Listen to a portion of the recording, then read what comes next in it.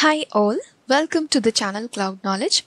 Today in this video, we'll study about skipping rows in Data Factory in copy data activity when the source file is CSV. So to understand the requirement, I have this input and the output data set here. So on the left side, you could see that in the source CSV, we have the columns, okay, from A to G, along with these two extra rows at the top mentioning some information about this data, this first row, and the second row, the date, okay. But in the output, we are not interested to take these first two rows, okay, and we want the data to start from ID, that is the third row in the output data set. So how to achieve this in ADF using copy data activity. So we'll go to the data factory and create a new pipeline. Let's name it as skip rows in CSV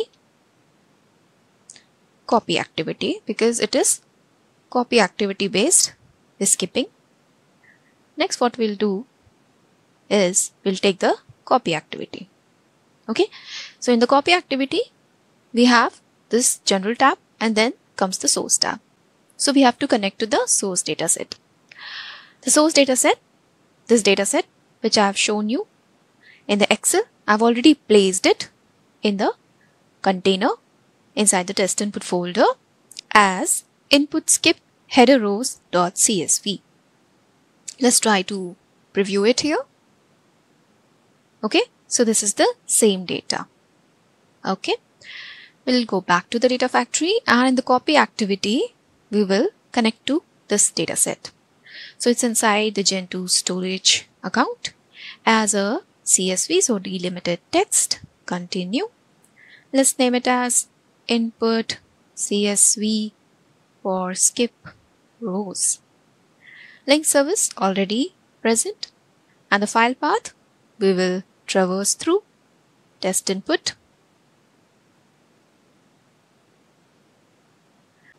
and the file name is input skip header rows.csv.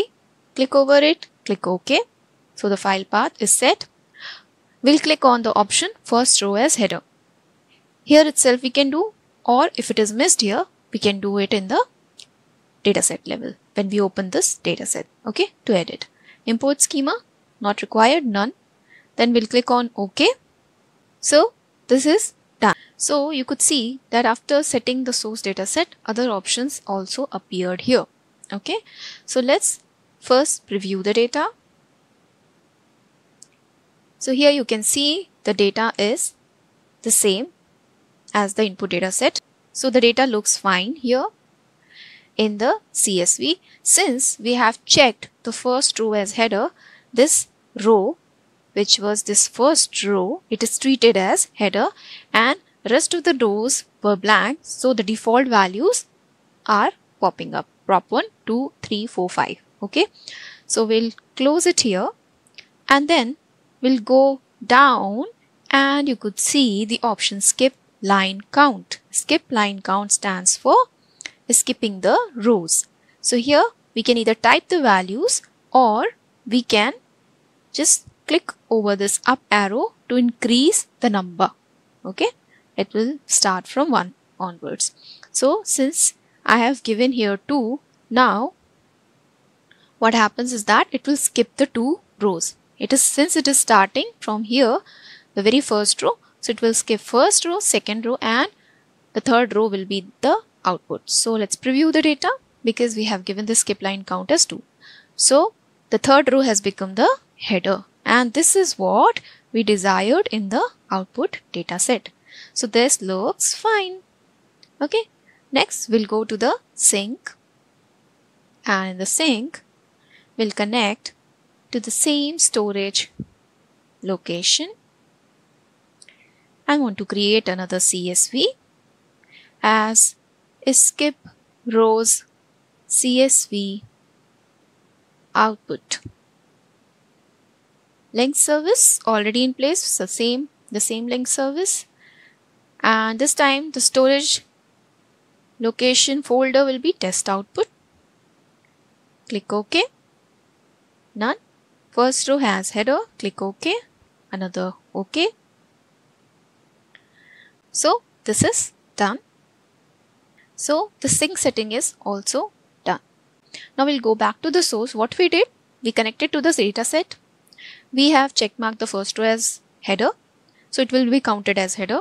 Then whatever number of rows we have to skip, we have under the source settings, skip line count. We will select those many lines from here, okay, to be skipped or removed from the input. Now we will validate and we will publish the changes.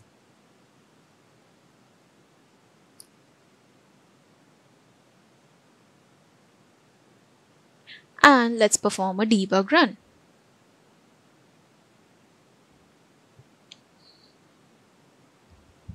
The debug run is in progress for this copy data activity. We will wait for it to finish and then we'll go to the storage location in the test output folder. So let's go to the containers and this was the folder we selected for landing the file. So here you could see that the copy data activity debug run has completed. And since at the sink level we have selected the dataset and in the file extension by default it is txt the file generated will be in txt so and the file generated will be in txt with the same name as the input file name. So we'll click on this txt output file, go to the edit section and since it is a txt, txt we cannot preview it correctly. So we'll go back and give it the extension as CSV this time at the sink level and again perform a debug run.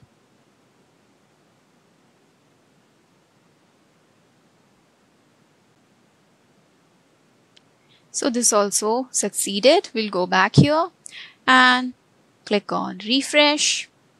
So another file input skip header rows.csv this time is generated and we'll go this time to the edit so we could see the CSV file over here. This time we have generated a CSV. Let's try to download this CSV, open it and we could see the expected data landed here with the desired row as header.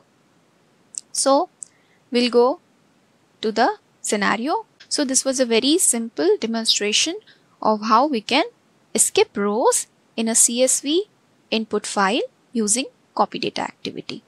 Thank you for watching the video. Happy learning to all. Bye.